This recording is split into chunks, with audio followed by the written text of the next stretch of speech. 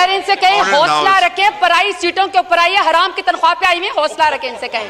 حوصلہ کریں سر ان سے۔ اکیس اپریل دو ہزار چوبیس کی آپ کی قائم کمیٹی کی رپورٹ ہے۔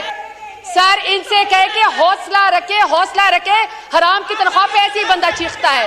السلام علیکم ناظرین تحریک انصاف کی M N A Zartaj Gul کے ہاتھوں مریم اورنگ زیب کی چترول۔ زرتاج گل نے وزیر اعظم اور وزیر اعلیٰ مریم نواز کو بھی اڑے ہاتھوں لیا۔ پختون شیرنی کی گفتگو نے ایوان ہلا کر رکھ دیا۔ یہ پہلے ان کا بیان سنتے ہیں پھر اس پر تفصیل سے بات کرتے ہیں۔ پاکستان ایک ایسا اسلامی جمہوریہ پاکستان ایٹمی طاقت ہے جس میں نواز شریف کی ماں پہ جس میں شہباز شریف کی ماں کے اوپر خواتین کو سڑکوں کے اوپر گسیٹا جاتا ہے، ان کی چادر کھینچی جاتی ہے، ان کو پر واٹر کینن استعمال کیے جاتے ہیں، لاٹھی چارج ہوتا ہے، ان کو پر ایف آئی آر کی جاتی ہے، چادر اور چار دیواروں کو پامال کیا جاتا ہے، لیکن کسی کو شرم نہیں آتی ہے۔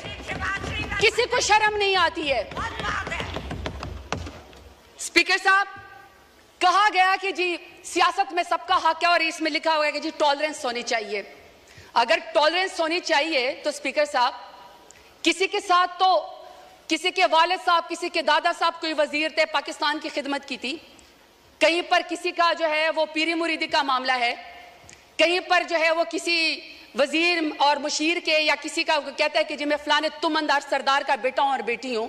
لیکن سپیکر صاحب، میرا سوال ہے کہ اگر میں N A one eighty five پہ زرتاج گل وزیر، ڈیرہ غازی خان سے الیکشن لڑنا چاہتی ہوں تو کیا ڈیرا غازی خان میرے لیے نوگو ایریا تھا کہ آپ میرے پروپوزر اور سیکنڈر کو بھی اغوا کریں؟ آپ میرے گھر کا محاصرہ کریں؟ جب میں گھر سے نکلوں تو آپ میرے اوپر لاٹھی چارج کریں؟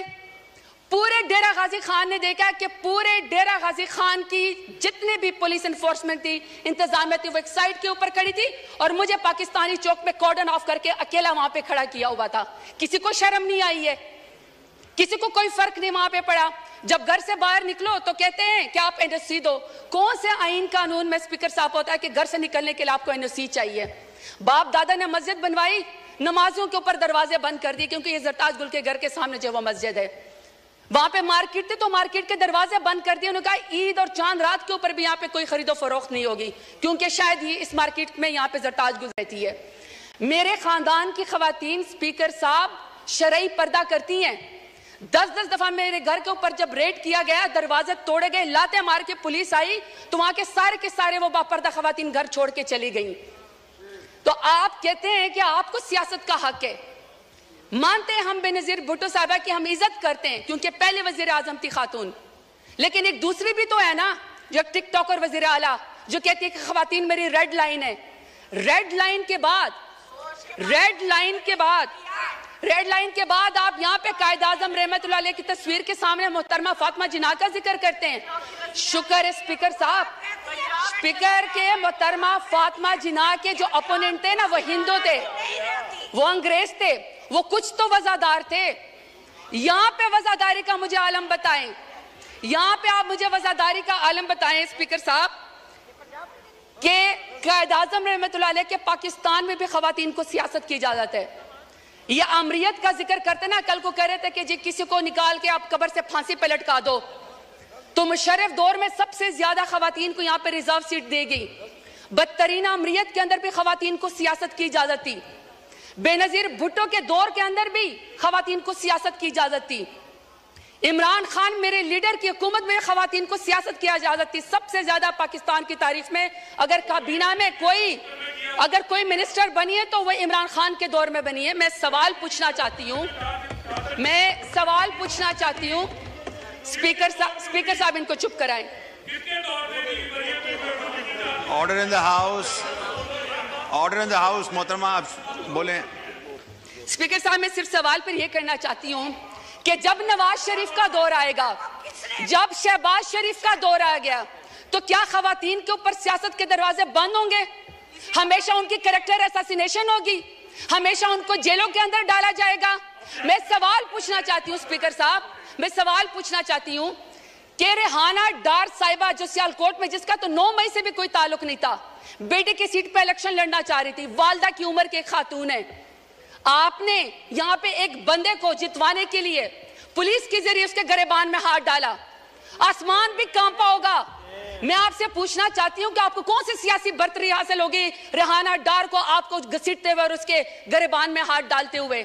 سپیکر صاحب، ہم نے تو سنا تھا کہ فلسطین میں، کشمیر میں مقبوضہ جگہوں پہ یہودی اور ہندو جائے خواتین کے خلاف ٹارچر کرتے ہیں، ان کو ہراس کرتے ہیں تاکہ ان کو کوئی جو ہے اس کے اوپر برتری حاصل ہو جائے۔ سپیکر صاحب، میرا سوال ہے، میرا سوال ہے سپیکر صاحب، کہ جب عالیہ حمزہ کو پڑھی لکھی خاتون انجینئر ہے۔ جب عالیہ حمزہ کو ان کی تین بیٹیوں کے سامنے رات کو اس کے بیڈ روم سے بالوں سے کھینچ کر مرد پولیس والوں نے سیڑھیوں کے اوپر گسیٹا تو میں شہباز شریف سے پوچھنا چاہتی ہوں، کون سے سیاسی برتری آپ کو پاکستان تحریک انصاف کے اوپر حاصل ہو گئی؟ اب میں ڈاکٹر یاسمین راشد کا ذکر کرنا چاہتی ہوں۔ سپیکر صاحب، ڈاکٹر یاسمین راشد ہیں۔ ایکس منسٹر ہے ہیلتھ کی۔ اور وہ اس قوم کی خدمت کر چکی ہے کینسر کی سروائیور ہے ایک لیڈر خاتون ہے آج وہ خاتون ایک زمانت اس کو نہیں ملتی جو کہ بنیادی حقوق کے خلاف فرضی ہے۔ آپ یہ چاہتے ہیں کہ کوئی پڑھی لکھی خاتون یہاں پہ سیاست کے اندر نہ آئے اس کے اوپر دروازہ بند کر دیا جائے۔ تو میں پوچھنا چاہتی ہوں فارم سنتالیس والے وزیر اعظم سے کون سے سیاسی برتری آپ کو حاصل ہو گئی؟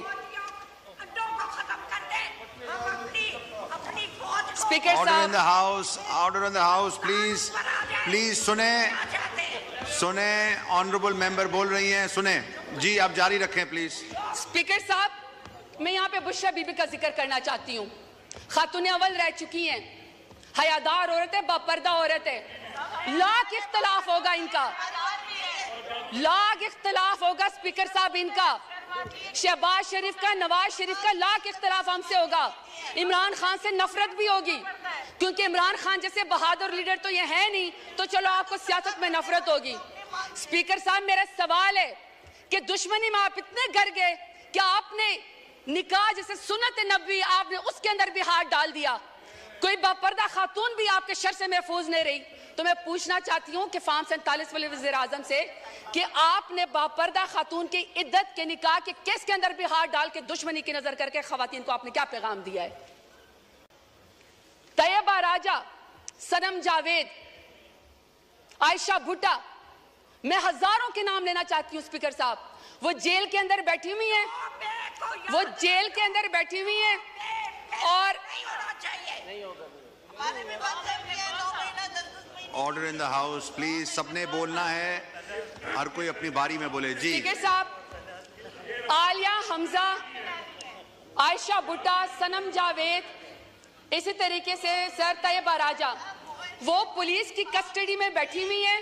اور طیبہ راجہ کہتی ہیں کہ ان کی والدہ تحجد کی نماز پڑھ رہی تھی اور ان کو کوئی پولیس آفیسر، کوئی ریپ کی ویڈیو بیچتا ہے۔